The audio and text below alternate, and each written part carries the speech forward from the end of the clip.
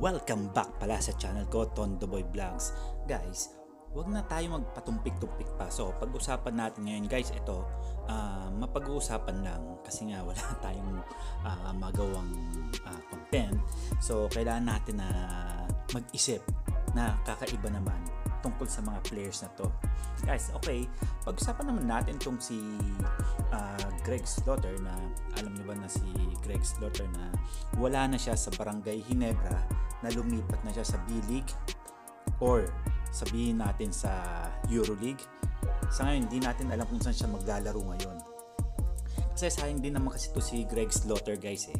Biruin nyo ba, 7 footer to, 258 uh, LPS to. So, nag-assist siya ng 3.0, steal 0.5, block 2.0, okay, turnover 3.0, and points 18.0.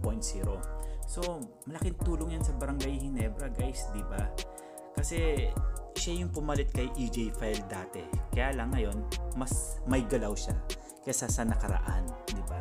Parang ano lang yan eh, um, Japet Aguilar na 6'9 na katulad ni Marlo Aquino.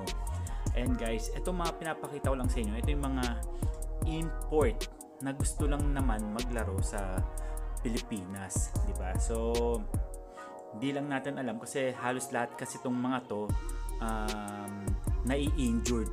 So siguro ba maglaro sila sa Euroleague o sa B-League? Marami sila dapat paglaruan dito sa ibang bansa guys. Anyway guys pag-usapan na naman natin yan. Kasi uh, ayon sa kay Alfrancis Chua uh, sila sila pa rin ang mga magdi-decide na sila kume yan lahat sila basta um, di ko na kasi masabi kung ilan sila dyan sa nagdidesisyon kung sino ba dapat mga papakawalan sa PBA or hindi. Hindi ko rin alam. Yun nga pala pag-usapan natin si Asitaw Laba. Kasi si Asitaw Asitaw Laba balak niyang pumunta sa Barangay Hinebra o gusto niyang lumipat. Yun nga lang uh, sa naririnig ko kailangan pa yatang trade na first draft pick sa susunod na uh, taon. Pero hindi ko lang alam yan ha. hindi pa ako sure dyan guys kasi napag-uusapan lang naman natin yan. Kasi alam niyo ba si uh, si Taulaba ay nag-average siya ng 7.9 points 10.2 rebounds 0.6 assists per game pero alam ko yung last season um, nakaka uh, nakaka 3 uh, ah, 5 siya na 3 point per game. Pero um, di kasi ako napanood masyado ng PBA lalo na kapag walang Hinebra, di ba?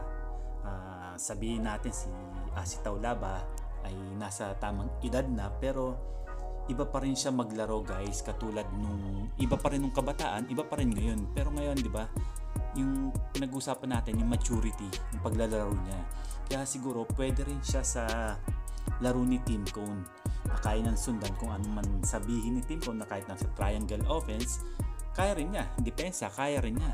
di ba? So, napakabatikan na to si ano, Asitaw Laba. Marami kasing mga big man na gusto mga maglaro sa Barangay Hinebra. Yang katulad niyan, di ba? Si sino to? Christian, si Asitaw Laba. Basta marami pa guys, si Raymond Almasan, sa nakikita nyo guys, sana uh, may mga paglaro pa sa Barangay Hinebra na big man na makakatulong sa Hinebra. Di ba guys? So hanggang dito na lang guys. See you! This is Tondo Boy Vlogs. Thank you for watching my video at sana sama-sama natin antabayanan ang mga magiging kaganapan sa ating paboritong liga sa PBA and thank you once again and God bless you sa inyong lahat. So see you for my next video. See you for my next vlog.